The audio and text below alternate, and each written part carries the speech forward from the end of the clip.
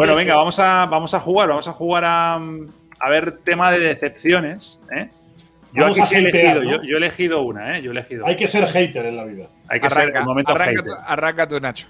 Lo arranco yo, espera, que el, mío, el mío no lo tenía preparado. Ah, Espera, bueno, no, Ahora, no, ahora, no, ya, no. Está, ya está, ya está.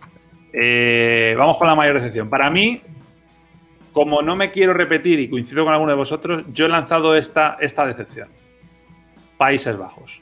Y voy a explicar por Bien. qué. No me parece un gran equipo, no me parece eh, un gran entrenador, pero creo que después de que se ganaron el puesto que se ganaron en el bracket, se la han pegado con todo, porque es que tenían un lado del bracket en el que tenían que ganar a República Checa y luego se cruzaban con Dinamarca. Que Dinamarca es un buen equipo, pero que yo lo querría ese lado del cuadro duda, para mí. duda, Entonces, por eso es mi decepción eh, la selección de, de Países Bajos. Quizás por un partido, pero para mí es la decepción. Eh, no sé un poco si lo veis igual, pero me parece que por ahí se les fue. Fran de Boer, por cierto, a la calle. ¿eh? Sí, bueno, es que. Sí, pero, pero es que también Holanda responde como a esa genética de siempre, ¿no? De que uno espera más de lo que por ahí puede dar. En estos días eh, recordaba leyendo un artículo de la BBC de Londres de un filósofo o un psicólogo eh, holandés decía, es que el problema es que nosotros como sociedad, los holandeses, somos gente feliz. Y, y el fútbol no lo vemos con dramatismo, así perdamos, porque somos gente que socialmente vive bien, tiene casi todo, y esa clase de decepciones deportivas no nos afectan demasiado. Eso es muy bueno en una parte, pero también es muy malo en un tema de mentalidad ganadora, que nos estamos acostumbrando a la derrota cuando podemos avanzar más, pero igual como que está bien. Entonces, esa clase de conformismo termina por hacer de una Holanda un equipo que promete pero no cumple, como los políticos en campaña. Lo que pasa, Juanfer, es que venía de un gran proceso con Ronald Koeman, había llegado a la Sí. final de la UEFA Nations League y Sí. llega este hombre que fue el peor técnico de la historia de la Premier, Sí, que le fue muy bien- mal en el Inter y que estrelló la, Mercedes en, en Atlanta United, de Correcto. campeón a último. Entonces, se, se encuentra con este puesto. Yo no voy a decir que solamente pierden por De Boer, porque también es cierto No, lo que tú pero- dices. Eh, le pasa siempre a los Países Bajos, esta- eh, siempre le pasa lo mismo.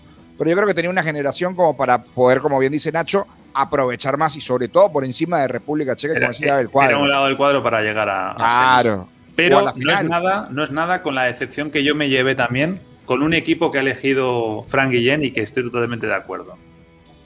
Este Turquía. equipo. Turquía. Uy, el peor sí. equipo de la Euro. Eh, el peor equipo de la Euro y yo creo que si jugara contra Bolivia igual demostraba que es el peor equipo de los dos torneos, de Copa América y de Eurocopa. Con talento. de Y mira que tienen talento, Fran. el Tiene- desempeño Tienen de gol. Turquía Yo creo que talento no, pero gol tienen. Nah, Yo creo, yo que tienen talento, de verdad. ¿eh? A mí eh, me ha gustado mucho Shakir, el portero. Tenía muchas esperanzas en esa defensa. Demiral juega en la Juve. Soyuncu ha hecho un año buenísimo, Buenísimo. en el Sí, Leicester. buenísimo. Eh, tenía mucha clase con Chalanoglu. Siempre decías, oye, balón parado te puede resolver Sí. algún partido. Tiene muy buena pierna. Sabíamos que era un jugador muy trabajador, pero bueno, yo pensaba que con la camiseta de su selección en un torneo así podría exhibirse. Y luego eh, el pack del Lille campeón de Francia es que nos ha dejado con la boca vacía. No, no hemos tenido nada que echarnos al buche porque Burak Yilmaz ha corrido mucho, se ha cabreado con mucha gente, eh, le ha echado muy malas miradas a todos los árbitros, pero no ha hecho nada de cara a portería. No sé si físicamente les ha llegado en mal momento este torneo. Yo creo también eh, mal dirigidos desde el banquillo, no me gustaban nada los cambios, salvo quizá cuando metieron a Under en el primer partido contra Italia, que es verdad que se volvió un equipo un poquito más alegre, media horita, pero muy poco más, y de verdad es que los tres partidos de Turquía en la primera ronda fueron tres dramas. Y yo es una selección que metía entre las posibles revelaciones del torneo. Mora, no. os habéis puesto de acuerdo en vuestra decepción. Sí, pero es que la general es Francia. La general es Francia, era la que el campeón del mundo del que todos esperábamos. Además con Benzema, con dos jugadores por posición, con, con un, con un equipazo. Hizo que fue una muy buena copa de Benzema, considero yo digo, porque cuando buscan echar la culpa a alguien, Sí. en detrimento de Mbappé, que no tuvo una buena copa, que no anotó goles, pero la selección le fue mal. Kanté no fue el mismo, eh, Pogba tuvo momentos, Rabiot, bueno, ya saben el escándalo y que además no estuvo bien eh, en el torneo. Francia decepciona, no se vio bien frente a Portugal y me parece que eh, la única gran victoria fue que ella frente a Alemania, que es un equipo que mucha gente también llama de excepción, pero que ya venía mal y que ya sabía que venía otro proceso. La defensa de Alemania es un verdadero desastre. Esperemos que ahora Frick pueda hacer otra vez una Alemania competitiva. Pero para mí coincido perfectamente con, con Juanfer y ya lo vamos a escuchar. Eh, Francia es la gran decepción. Es que siempre cuando viene como una decepción aparecen las teorías de conspiración de los conspiretas, ¿no? Entonces es que conspiró haber convocado a, a Benzema cuando no había hecho parte del proceso.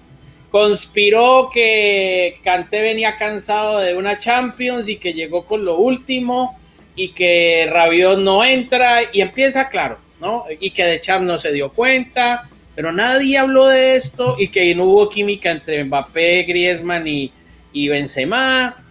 Es decir, yo creo que es, es una conjunción absolutamente de todo, pero al final en el fútbol define algo tan sencillo como la puntería. Si ustedes se dan cuenta en el partido de Suiza, Rodríguez bota un penal y, y, en tres minutos cambia la historia a favor de Francia. Y después la falta de acierto de Francia es la que atenta también con, para que ese partido no terminara un 5-1, un 4 por 1.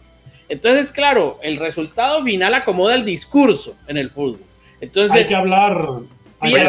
solo, solo estáis decepcionados con los equipos de la Euro, ¿eh? Pierde, no, pierde no los nada de la Copa América. Sí, la mayor decepción, sí. No se ha decepcionado a nadie, ni nadie, ni Yo voy a meter, Nacho, antes de hablar de la Copa América, un palito de Sham, porque creo que, a pesar de que es un hombre campeón del mundo, el manejo táctico de Francia me ha parecido malísimo. El planteamiento contra Suiza, a pesar de que casi le sale bien por esa remontada, me pareció malísimo. Esa especie como de, de enjuague que hizo con el lateral izquierdo, eh, tres sí. centrales, metiendo al Englet, que venía a hacer una temporada esperpéntica y que luego sale retratado en el gol de, de Suiza.